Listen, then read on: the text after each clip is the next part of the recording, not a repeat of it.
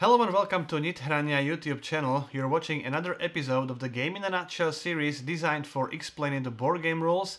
My name is Branislav Berec and in this video we're going to learn how to play Coalitions, which is a game designed by Andrew Rourke and published by Phalanx Studios, which is going to Kickstarter on June 16th. So everything you're about to see in this video is the prototype version of the game. All the components are prototype, the rules are still in development, and the game will come with some cardboard coins and maybe even with some metal coins. In the meantime, I'm using my own metal coins, some generic metal coins from my collection. So, let's get started. First, players need to decide which nation or nations they will control in the game. In a six-player game, each player will control one nation. In the lower player counts, the exact distribution is listed in the rulebook. For example, for a three-player game, one player will control Britain, Russia and Austria. The second player will control France, and the third player will control Ottoman and Prussia. Based on the given scenario, set the initial morale for each nation. Starting influence, which in this scenario is 17 for all nations. And also the political status of each nation. Russian and Austrian start as the allies of Britain. Prussia starts the game as the neutral nation. And Ottomans are waging a war of expansion, which means they are in war against everyone. Place all the generals and all the units and garrisons as indicated in the scenario.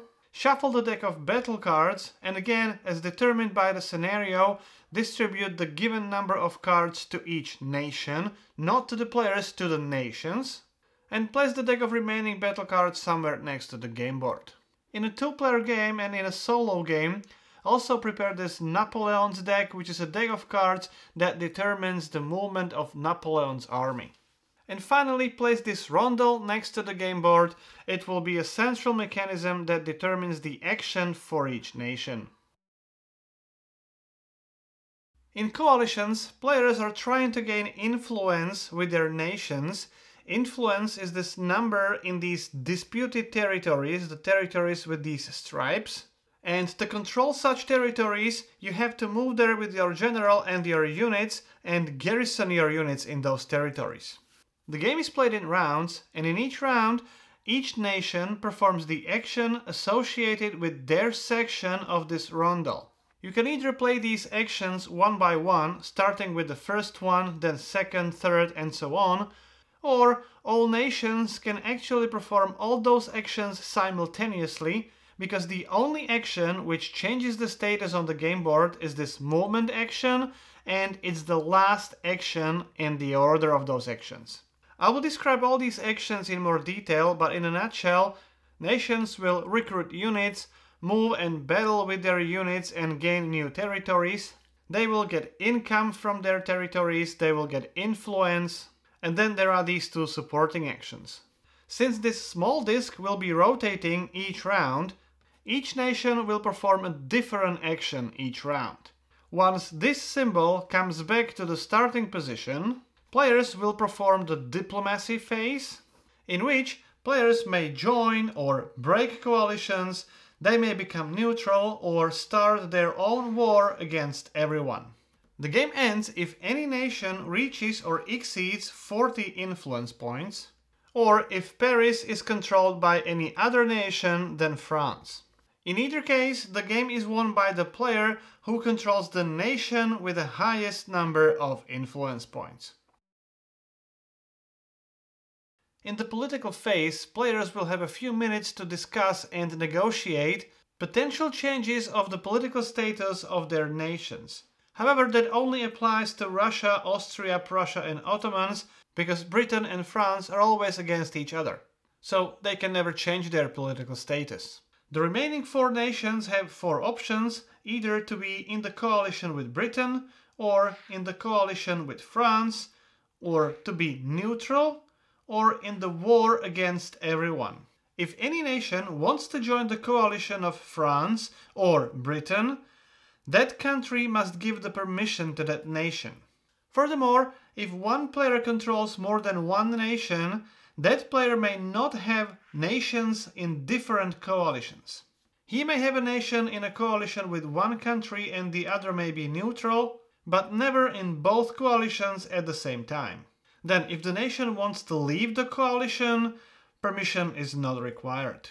If the nation is in this war of aggression status, it is at war against all other nations. And finally, neutral nations may not contest territories, however, their income in the round will be doubled.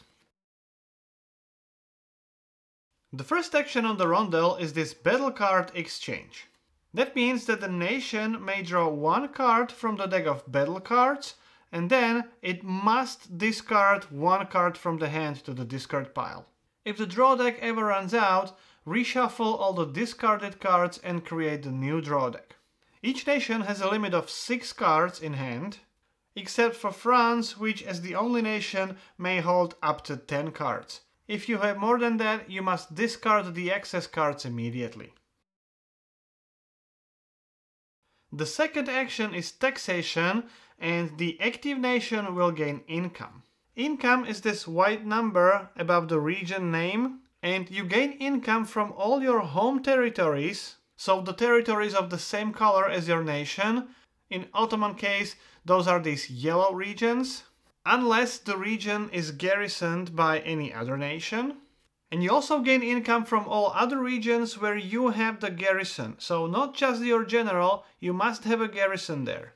These striped territories don't provide income, you can gain influence there. So sum up the numbers from all your home territories not controlled by other nations and add the income from territories you control and that's the income that goes to that nation's treasury. Now, Britain is the only nation in the game can also gain income from trade. Every territory with the port symbol, which is free, which means there is no garrison token in that territory, generates one income for Britain. So in this picture, it would be one, two, three, four coins for Britain. The third action is called the leadership action. And with this action, first and foremost, you can redeploy any generals you have off the map back onto the battlefield. You can place them in any territory you control, so it could be your home territory if it's not controlled by other nations, or in any other territory you control, and again, to control the territory you must have a garrison there. Having just a general in the territory doesn't make you control that territory. If you wouldn't have any generals off the map, you can instead gain one morale or one battle card. If Britain is taking this action, in addition to those three basic options, it can also provide subsidies to its allies. Britain must use the money from their own treasury and they can distribute any amount of money to any nation or all nations with which Britain is in coalition. Now, for this subsidy, Britain will gain one influence. If you're in a co-op variant or in a solo game and you play with these Napoleon cards, when France takes this action, this symbol indicates that you also have to move Napoleon into the depicted regions. You will move a general with three army units into every region depicted. The fourth action is the mobilization action. Nation will use its own treasury money to buy more units, morale and battle cards. For each unit, for each point of morale and for each card, it will have to pay one coin.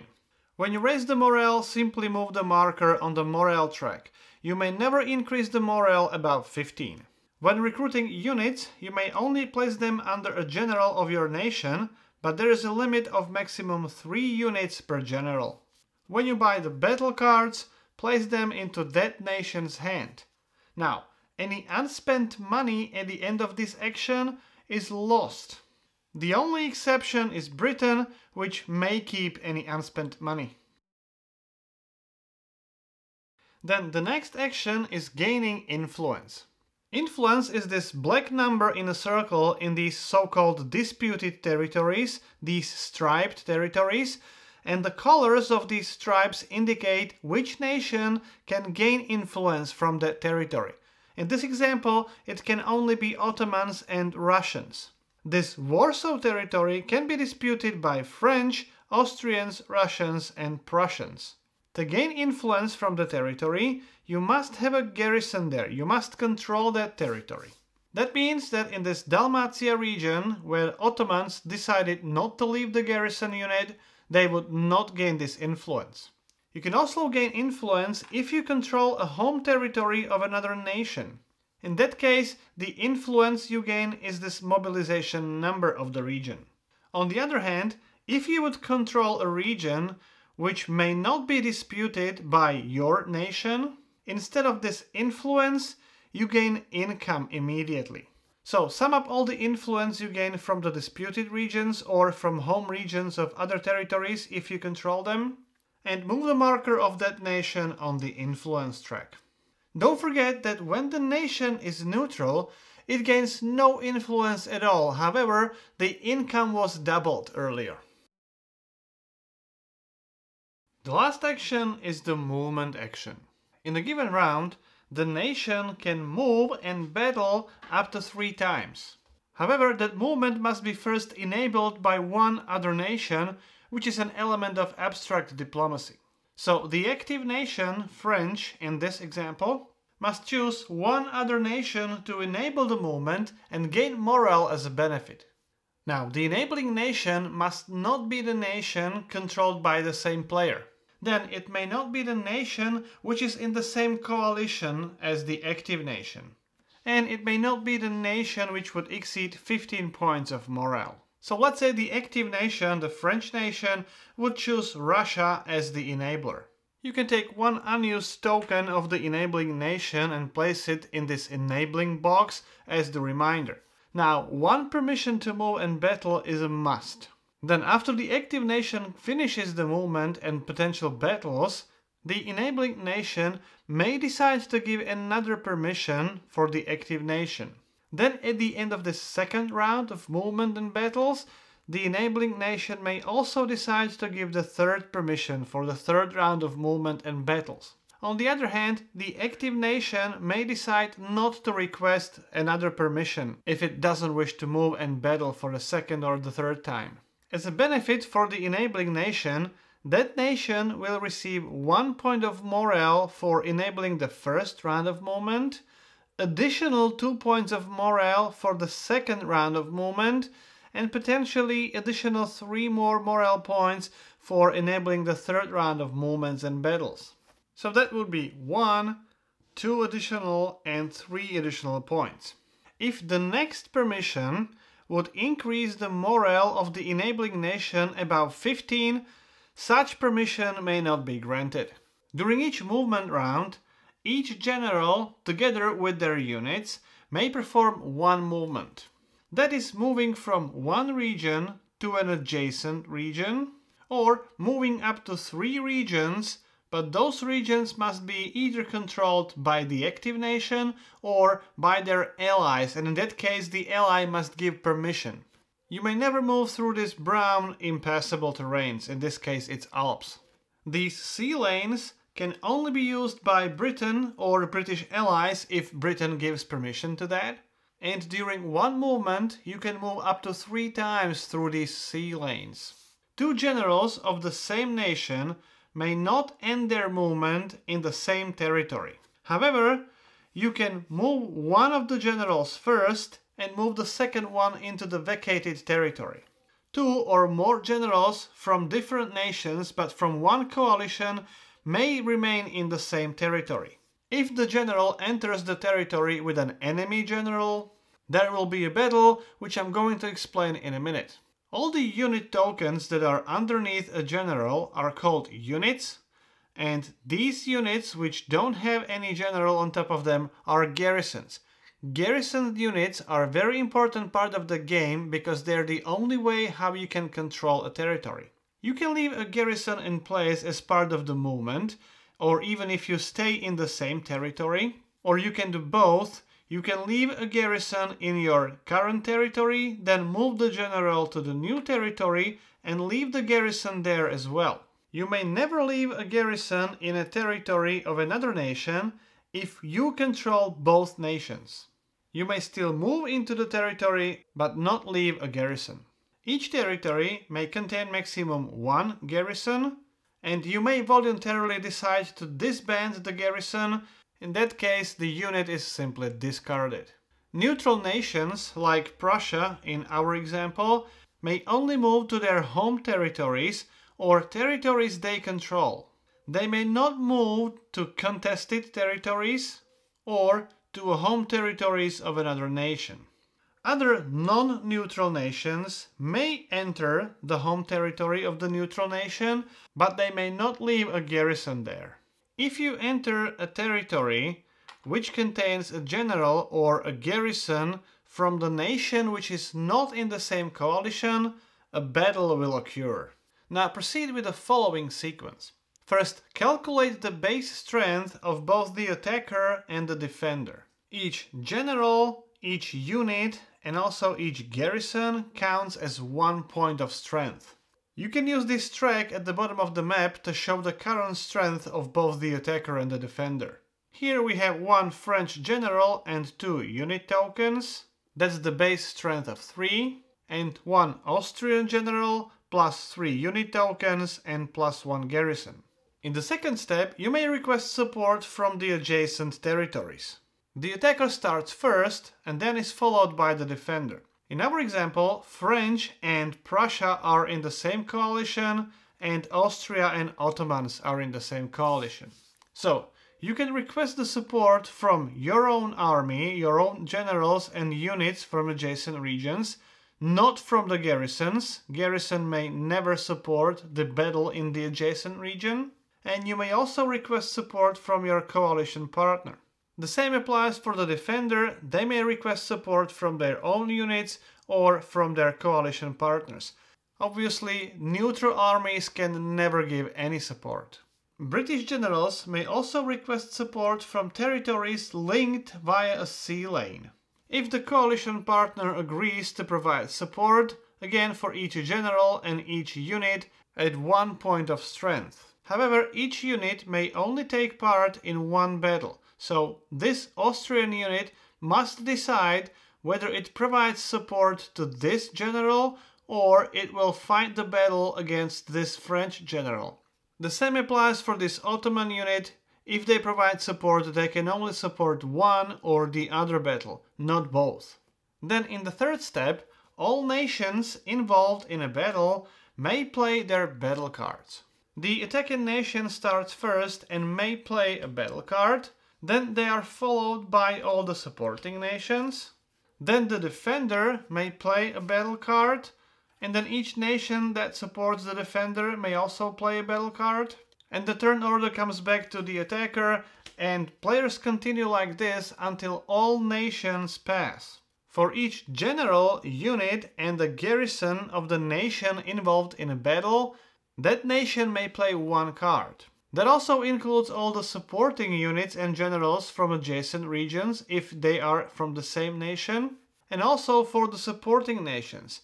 So if Ottomans would decide to use both generals to support this Austrian army, both generals have one unit token in their territory, so the Ottoman player may play four battle cards in total. When all nations pass, it's time for the fourth step of the battle, and that's revealing all these battle cards and adding the total value of the cards played to the strength of the army of that nation.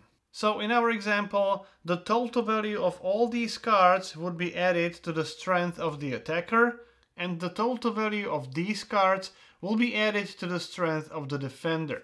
However, for each card that nation played during the battle, reduce the morale by one point, so for 5 cards played, you have to reduce the morale by 5 points. Then the coalition with the higher strength wins the battle. Then discard all the battle cards played, and each nation that has at least one general involved in the battle will draw one new card from the deck into that nation's hand of cards.